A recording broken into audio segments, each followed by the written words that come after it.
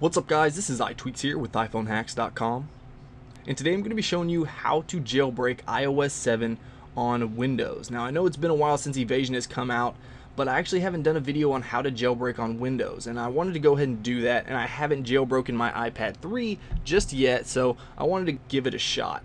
So this is actually pretty easy. I have used Windows to jailbreak before. So all you're going to want to do is go to evasi0n.com and I'll put a link in the description below for you guys to just click on. And since we're on Windows, we're just going to click on Windows and then it's going to bring you to a mega screen right here. Then you're just going to want to click download. Now, once you download this, I've already downloaded it, you want some type of program like WinRAR that's going to be able to extract the file.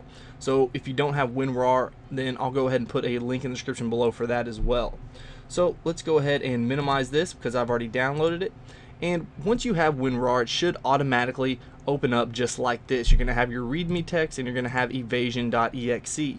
So all you want to do is double click on evasi0n and it's basically as simple as that. You just open up the program and you're going to click jailbreak.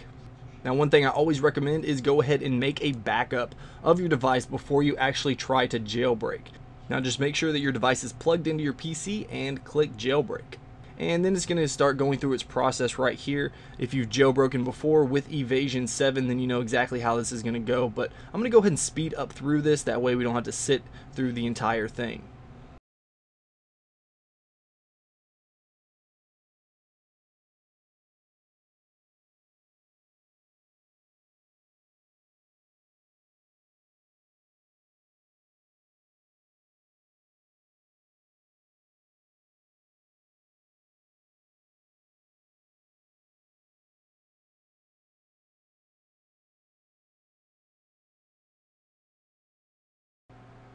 Alright, so now that we're rebooted, it says on our screen to continue, please unlock the device and tap the new Evasi0n 7 icon.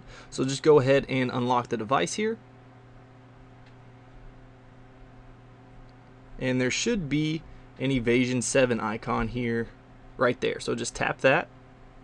Should open up, close, and then continue with its process.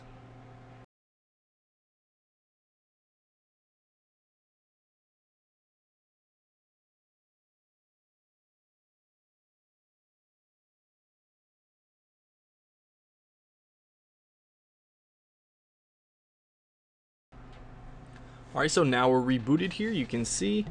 Let's go ahead and change that orientation. If we swipe to unlock, we should have Cydia on our device right there. So we're going to go ahead and tap on that. Let's give it just a second to load.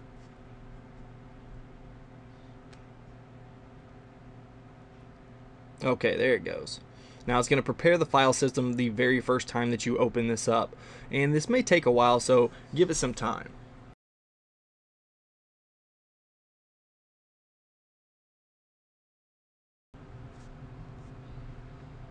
Alright, so now that we're rebooted, let's go ahead and swipe over here and let's go open up Cydia. So here, since it already prepared the file system, just tap user, tap done, and then once it loads you're going to have Cydia. So a very painless process.